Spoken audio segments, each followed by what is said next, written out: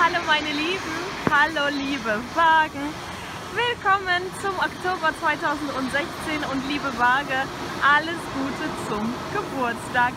Ich begrüße euch an meinem Lieblingsort, dem Flughafen, jetzt heute aktuell äh, der Flughafen Zürich. Denn äh, von diesem Ort kommt man an alle anderen wunderschönen Orte viel, viel einfacher. und äh, genau, mal schauen, ob sich denn jetzt hier der Monat noch verbringt. Und äh, Waage ist ein Luftzeichen. Deswegen bin ich jetzt hier am Flughafen gelandet sozusagen. Und äh, Waage steht für Diplomatie, für Balance, für Harmonie auch. Und äh, wie könnte so ein Flugzeug fliegen ohne die richtige Balance?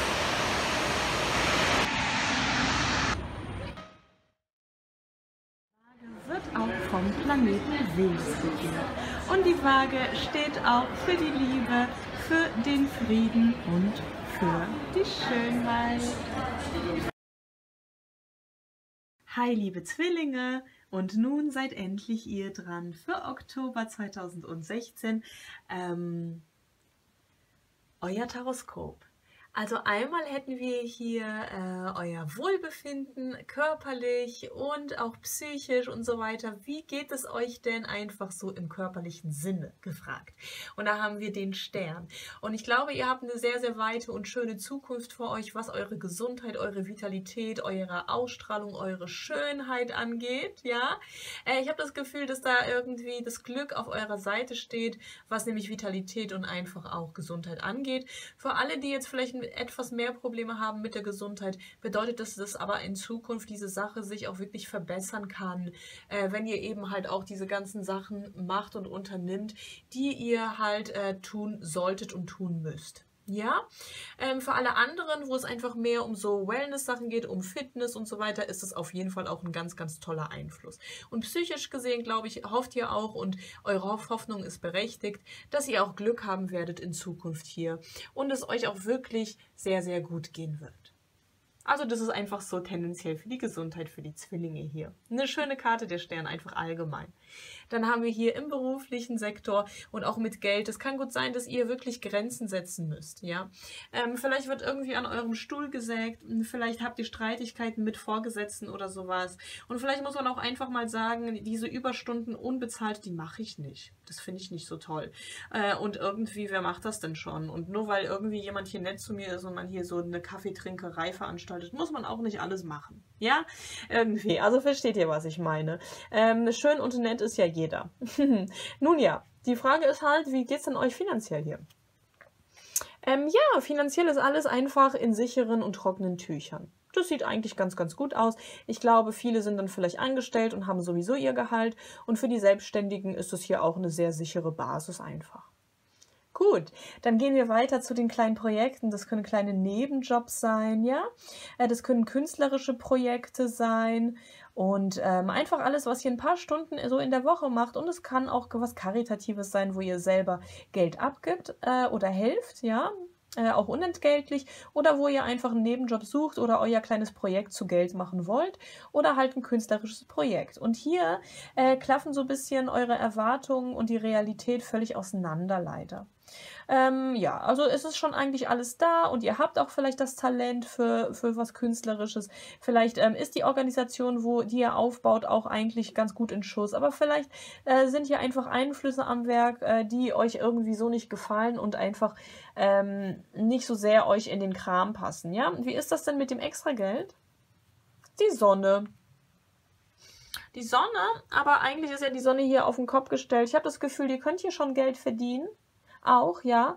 Aber vielleicht ist das wirklich, wenn die Sonne so auf den Kopf gestellt ist, dann ist es auch ein bisschen getrübt. Und ähm, eure kreativen Projekte oder euer, eu, eure Kunst ähm, ja, das ist auch wieder eine umgedrehte zwei der Stäbe. Ähm, ich habe das Gefühl, dass, ähm, dass ihr vielleicht aus einer Lethargie rauskommt, dass ihr vielleicht aus einer künstlerischen Blockade rauskommt und euch langsam mal wieder so Richtung Sonne bewegt, wenn ich das jetzt hier einfach mal so zusammen interpretiere. Ja, wir interpretieren das ja auch intuitiv sehr mit den Karten.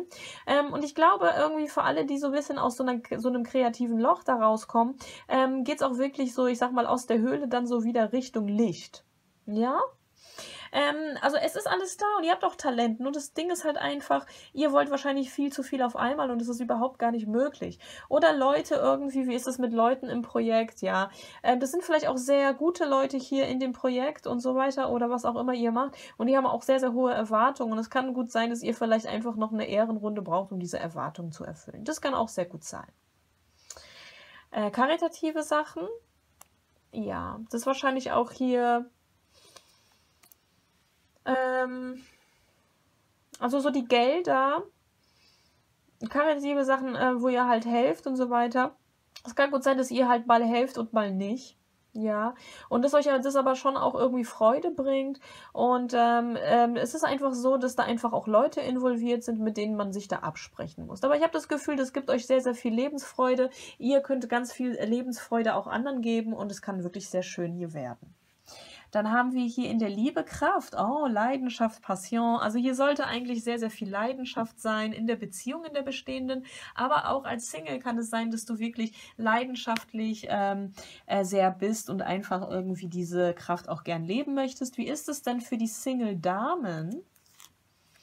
Oh ja, ihr könnt jemanden ähm, finden, wo es nicht nur körperlich prickelt, sondern auch wirklich ähm, eine tiefe, ein tiefes Vertrauen aufgebaut werden kann und ähm, man wirklich auch ähm, etwas Ernstes hier anstreben konnte. Ja, also solche Leute können durchaus ähm, auch sein in eurem Leben. Für die Sing Single-Herren das kann gut sein, dass ihr wirklich ans Ziel kommt, ans Ziel eurer Träume und auch tatsächlich jemanden kennenlernt, der euch wirklich sehr, sehr gut gefällt und wo man auch echt eine Familie sogar gründen kann miteinander, wenn man das möchte. So Leute kann man kennenlernen. Dann die bestehenden Beziehungen. Ähm, oh, da haben wir den Tod. Ah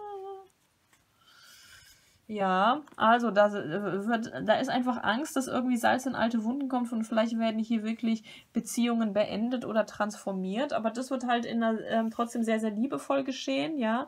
Äh, vielleicht kann man sich kollegial einigen. Kann sein, dass es einfach nicht mehr so stimmt und man irgendwie bestimmte Beziehungen einfach loslässt oder sich Verschiedenes verändert. Vielleicht bleibt die Beziehung auch bestehen und ihr ähm, äh, geht aber trotzdem getrennte Wege auf eine Art und Weise, was ihr vorher so nicht gemacht habt und vielleicht werden sich da Strukturen auch beenden in dem Sinne. Oder vielleicht ähm, ist, ist da auch wirklich ähm, ein, ein Loslassen und eine Transformation irgendwie und in eure Umgebung äh, gehen Leute auf eine Art. Das kann es halt auch werden und sein.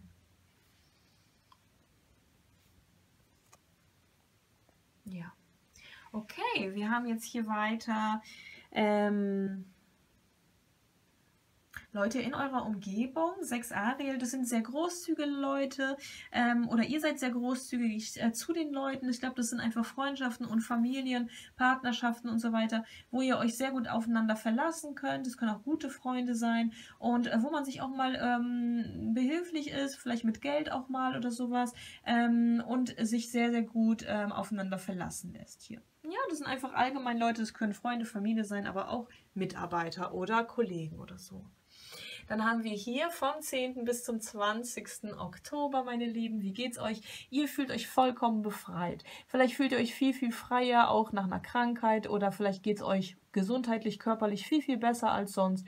Und für die Gesunden bedeutet das, dass vielleicht einfach eine Phase beendet ist, die vielleicht ähm, verschnupft war, die vielleicht ähm, negativ war gesundheitlich. Und hier kann es wirklich sein, dass ihr auf ein sehr, sehr gutes, schönes Niveau kommt hier, gesundheitlich vor allen Dingen, ja und es euch hier wirklich wieder besser geht und ihr euch echt befreit fühlt. Ne? Das kann auch alles Mögliche sein, das kann auch Wellness sein und so weiter. Dann haben wir hier den Beruf und das Geld. Mäßigkeit. Ich habe das Gefühl, dass hier auch alles einfach irgendwie in Balance ist. Ähm, alles ist in Balance, Geld ist in Balance, ähm, das Ambiente oder ich sag mal die Stimmung ähm, im Job ist irgendwie auch ausbalanciert und es herrscht einfach Harmonie. Also nichts ist, ähm, nichts wird übertrieben. Die große Million sehe ich nicht, aber dafür halt wirklich ein gutes Arbeitsklima und auch gutes Geld, ja? Es wird halt nichts übertrieben. Alles ist einfach in einer guten Waagschale. Äh, dann geht es gerade weiter mit den kreativen Projekten, mit allem, was sie nebenbei tut, der Wagen. Hier werden Gegensätze zusammengebracht und daraus können wirklich explosive, wunderschöne kreative Werke entstehen, wenn man das macht. Wenn man echt, ähm, ja, kontrovers denkt und wirklich kreativ Dinge umsetzt und auch gerade in sich selbst Talente entdeckt und diese dann nach außen bringt. Wie ist das denn mit dem Extrageld? Kann sein, dass ihr Kunden findet und ähm, die euch vielleicht was abkaufen oder die euch einen äh, Job anbieten. Das kann sehr, sehr gut sein hier, ja. Dann, ähm, wie ist das denn mit eurer Kunst? Hm, kann sein, dass ihr vielleicht ein kreatives Projekt hier beendet. Vielleicht kann es äh, ein natürliches Ende sein. Vielleicht äh, wird eine Bilderreihe fertig gemalt und ihr könnt einen Käufer finden. Das kann sehr gut sein, ja. Auf der anderen Seite könnt ihr auch vielleicht denken, ach ja, diese Art von Kreativität liegt mir vielleicht nicht. Ich überlege noch, was ist denn da noch an Talenten in mir drin und was kann ich noch in die Welt bringen. Ja, aber ich glaube, hier, hier beendet sich einfach auch was. Dann karitative Projekte und so weiter. Kann sein, dass ihr da einfach mit Kindern arbeitet oder einfach gute Kontakte habt und wirklich ähm, sehr, sehr viel äh, da macht und so weiter. Und wenn es Kinder sind, dann sind das vielleicht sowieso schwierige Kinder. Äh, auch wenn, wenn man denen halt kein Ritalin gibt, dann kann man vielleicht auch wirklich auf Bäume klettern, äh, was man vielleicht so äh, schon lange nicht mehr gemacht hat. Okay, das ist natürlich für alle was Verschiedenes. Also meine lieben Zwillinge, ihr seid so viele. Bitte schaut euch auch mal die, äh, das Video zum Aszendenten und zum Mondzeichen an. Dann könnt ihr euch nochmal ein viel ähm, genaueres Bild dazu machen. Dann haben wir hier in der Liebe zwei Ariel. Das kann gut sein, dass äh, einfach diese ganze Sache hier Hü und Hop geht. Also die Lage ist extrem instabil. Mal äh, verliebt man sich, mal schreibt man sich schon wieder nicht und so weiter. Okay? Single Ladies, was geht bei euch, meine Lieben? Ihr seid die Siegerinnen des Monats. Wow. Auf jeden Fall in der Mitte vom Monat könnt ihr eine heiße Eroberung machen und vielleicht äh, rennen euch alle hinterher. Wie ist das denn mit den Single Männern?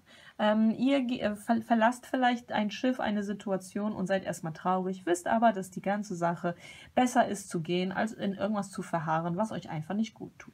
Für die Partnerschaften, die langjährigen, ach ja, ihr flirtet wieder miteinander, ihr kommt auf ein super neues Niveau hier zusammen und seid extrem glücklich und vielleicht auch finanziell bringt einer der Partner mehr Geld nach Hause und es gibt was zu feiern und vielleicht ladet ihr auch Freunde und Familie ein. Das ist einfach auch schöne Harmonie hier.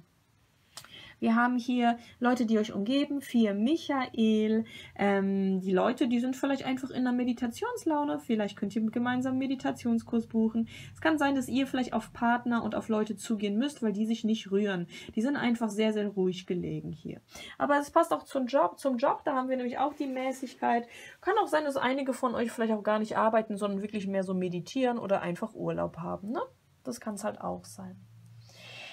Dann haben wir hier die letzte Zeit vom Oktober, vom 20. bis Ende 9 Ariel. Ähm, ja, wie geht's euch denn hier gesundheitlich und so und Vitalität und all die Dinge? Ähm, ja, es ist wirklich so, das kann sein, dass ihr echt gesundheitlich wirklich top seid, euch super fit fühlt. Auch die, die vielleicht krank waren oder so oder noch krank sind, kann es sein, dass ihr wirklich auch hier eine gute Phase habt und einfach weniger Schmerzen habt und wirklich eine Hoffnung für eine tolle Zukunft habt. Und ich glaube, dass die ist auch in den meisten Fällen berechtigt. Natürlich, ich rede hier von so vielen ähm, Zwillingen. Ne? Ich kann da euch nicht alle, aber es sieht hier super aus und es sieht auch so aus, als hättet ihr hier das große losgezogen oder als wärt ihr wirklich in der Verfassung, wo ihr schon immer sein wolltet total schön. Ne? Es ist sehr allgemein. Es ist eine allgemeine Legung, Leute. Ne? Das muss man wirklich immer wieder sagen. Dann haben wir Job und so weiter. Ritter Raphael, ich glaube, die Atmosphäre im Beruf ist wirklich, wirklich schön.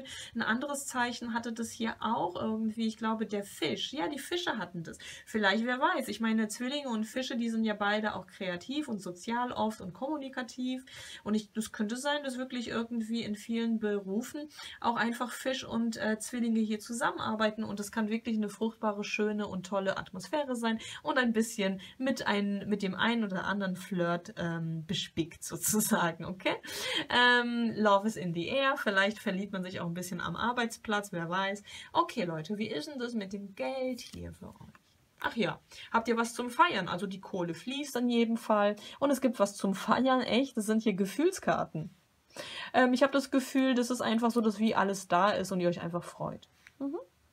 Denn in den Nebenjobs, kreativen Hobbys ist hier liegt hier auch Geld. Und wenn ihr da etwas im Aufbau habt, äh, einen Aufbau im Sinn, dann ist das wirklich so, dass wenn ihr das Ding aufbaut, ihr dann halt später auch wirklich die Ernte einfahren könnt. Und hier werden auch schon kleine Brötchen gebacken. Okay?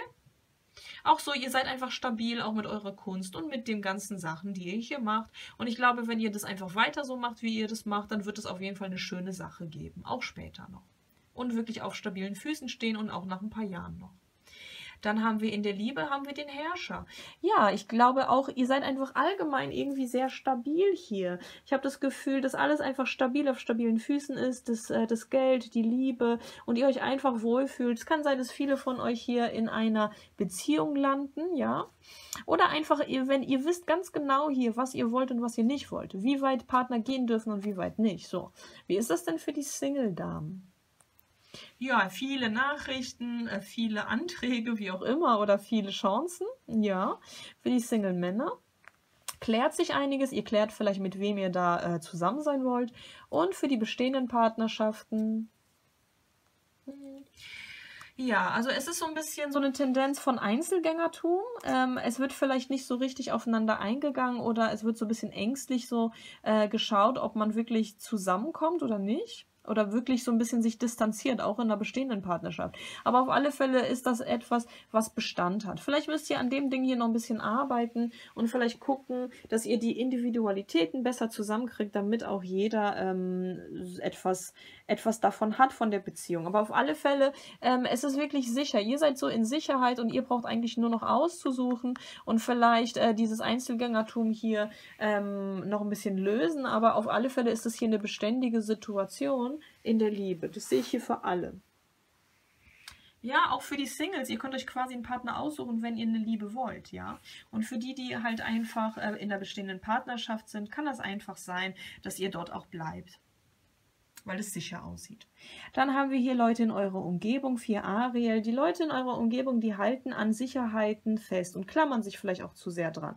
Dann müsst ihr gucken, wer euch anklammert. Vielleicht ist das auch hier in der Beziehung, dass der Partner zu sehr klammert und ihr eher so ein bisschen in die Einsamkeit geht oder ins Alleinsein geht. Da muss man gucken, dass man sich wieder annähert, ja, und nicht zu sehr abdriftet voneinander. Auch wenn ihr in einer sicheren Partnerschaft seid. Diese Sicherheit kann auch ein bisschen Korsett sein, was vielleicht sich auch nicht so gut anfühlt. Da müsst ihr gucken, wer zu sehr klammert. Es können auch Kinder sein, die sich wenig lösen wollen vom Rockzipfel. Und dann muss man vielleicht mal ganz sanft irgendwie die so ein bisschen Richtung Selbstständigkeit ähm, bringen, ja, ohne die natürlich jetzt zu irgendwas zu zwingen. Davon rede ich gar nicht. Aber manchmal ähm, kann, man, kann man so ein bisschen jemanden auch dazu auffordern, etwas mutiger zu sein, vielleicht auch auf andere Kinder zuzugehen und zu sagen, hallo, ich bin der Max, wer bist denn du?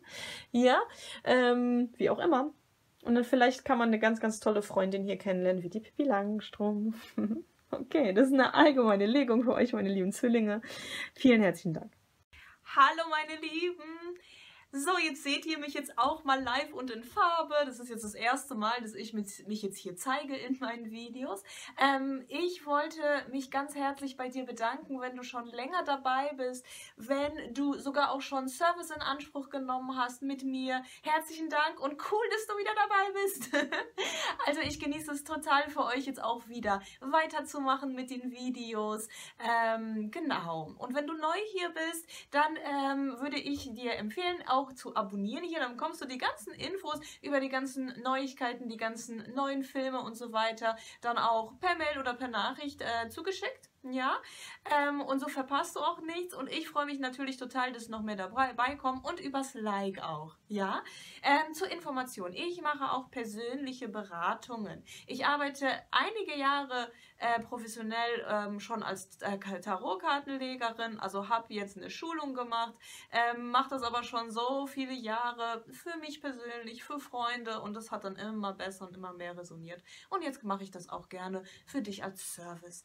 Mit der Nummer Numerologie arbeite ich auch, sowie mit dem Human Design jetzt auch neu und auch mit der Astrologie, aber ich tue das so in Beziehung und kombiniere das so, dass das auch echt auf deine persönliche individuelle Situation auch passt und ich dir auch in dem Moment das beste Ergebnis liefern kann, äh, welches du, welches dir auch ähm, welches dich äh, weiterbringen kann durchaus, ja. Ähm, genau, und ich plane hier auch noch viel, viel mehr zu machen. Also hier kommt noch Musik dazu, hier kommt noch Kosmetik dazu. Also ich äh, verspreche euch, Leute, wir werden uns hier schon nicht langweilen, ja. ähm, was wollte ich noch sagen? Genau, ach so, wenn du keine Probleme hast, ich hoffe, das bleibt bei dir so, ne? Also ich hoffe einfach, dass ihr eine coole Zeit habt mit mir ne? Oder auch ohne mich. Einen tollen Herbst und bis zum nächsten Mal. Tschüss.